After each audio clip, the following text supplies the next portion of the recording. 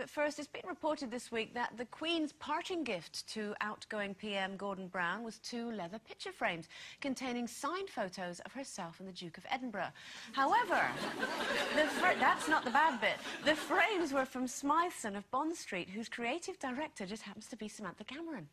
Now, a palace spokesperson quickly pointed out that it's the sort of gift the Queen gives to prime ministers. We pride ourselves on not giving offence. There was nothing sinister in it, no ulterior motive, just maybe a little bit of tittering behind the hands.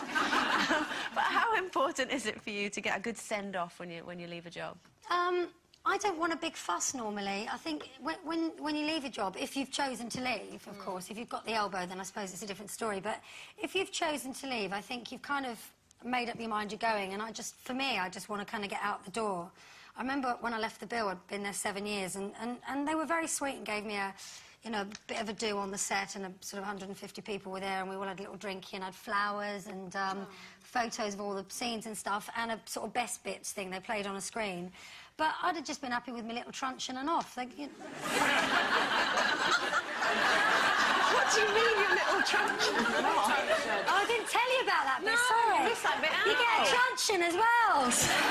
you get a little wooden truncheon with your name engraved in it, and your character name and everything. Oh, okay. Um, and That's I just, nice. it was lovely, but I'd have just happily had that little thing and then gone. sat on my own quietly in a corner. Are you sure it was a truncheon? It was a truncheon. no, that's our kind of leaving gifts, not yeah. yeah. But no, yeah, when I when I left uh, Corrie, I, uh, everybody that leaves Corrie, you either leave in a taxi or a coffin. it's true. You either die or you don't. And I didn't die. I was in the back of a taxi. And when I left Emmerdale, I left with Brian Hibbard from Showaddywaddy oh. in the back of a 1960s camper van. and I thought, oh, this isn't good. But I do remember, though, the producer came up to me and gave me this fantastic... It was a, a massive glass vase like this, absolutely enormous, with the great big... What do you call... it? Not lily. What are those beautiful... Bird of paradise. Something like that, yes, yes at the top. Flower. Give us a clue. And she gave it over to me, and I went, thank you very much, turned and dropped it. and I was so...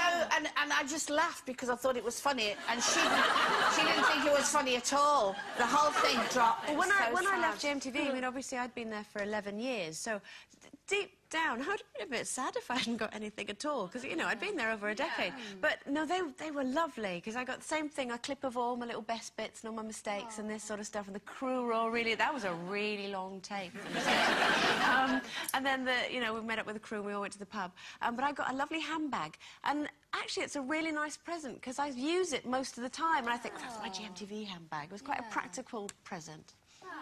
Does it say GMTV on the outside? no, I've got an anorak that says yeah. that. in the shape of a cloud or anything? No, no, it's got a big sun. No, not really. yeah, about the last 15 years, I've been sacked from every job I've ever had. so, you know, there's not really been a celebration. I might say to some mates, come on, let's go down the pub, it's great. Are you not um, really embarrassed by that? No!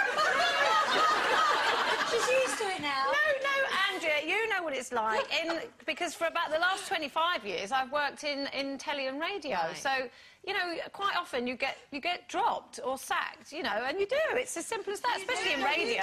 The boss changes, they don't like you. It, it does, it happens all the time.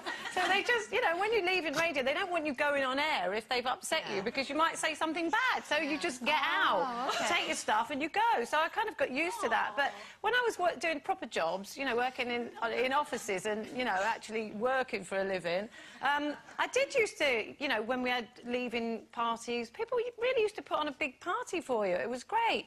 And there was one, I, I do remember, it was, it was the best party. It was in the office and it was for, I was temping at the time, so it was just a load of, it was a long-term temp. I was there for about two and a half years. And um, they were quite old, the people working there.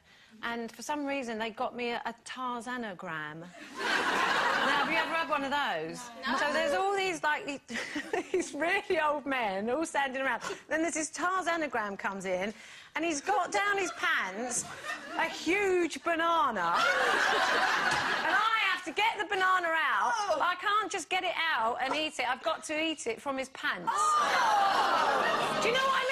That's the sort of thing. And after that, all I those thought, good old oh, days. Oh, after, no, after that, I was determined to get sacked from every job. So I just have to go through that again. Right, what a leading gift our competition prize would be. No bananas, but we've